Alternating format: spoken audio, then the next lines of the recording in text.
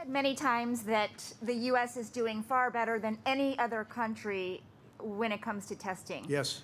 Why does that matter? Why is this a global competition to you if every day Americans are still losing their lives and we're still seeing more cases every day? Well, they're losing their lives everywhere in the world.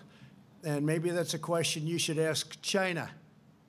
Don't ask me, ask China that question, okay? When you ask them that question, you may get a very unusual answer. Yes, behind you, please. What, sir, why are you saying that to me specifically? I'm telling you. I'm not saying it specifically to anybody. I'm saying it to anybody that would ask a nasty question That's like not a nasty Please go ahead. Why does it matter? when Okay, uh, anybody else? Please, go ahead in the back, please. I have, I have two No, it's okay. But We'll you go over pointed here. to me. I have two questions, Mr. Next, President. next, please. But you did. You called on me.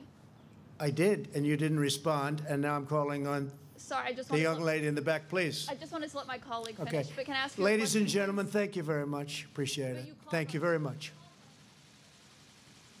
very, very uh, ugly ending uh, to that one hour appearance by the president in the Rose Garden, uh, refusing to answer our own White House correspondent Kaitlan Collins' question uh, and uh, going after another reporter, uh, several reporters in the course of that one hour exchange. Uh, uh, you know, at the end, right, at the very end, uh, Gloria, of that news conference, uh, the president did something, and it, it was really, really, as I said, ugly. Uh, uh, an Asian American White House correspondent asked a, rel- you know, a Right. very reasonable question, uh, and the president then said, "Why didn't you go ask China?" I'm paraphrasing right now about that, uh, and then she wanted to she wanted to follow up and say, "Why are you asking me that about China?" Uh, and uh, and our own White House correspondent Kaitlan Collins paused. She would she had been called on to ask the next next question, but he wa- she wanted to give her colleague an opportunity for a follow up, and the president wouldn't hear from it. Uh, and then he wouldn't even call on Kaitlan Collins. But what he did to that Asian American White House correspondent really was nasty.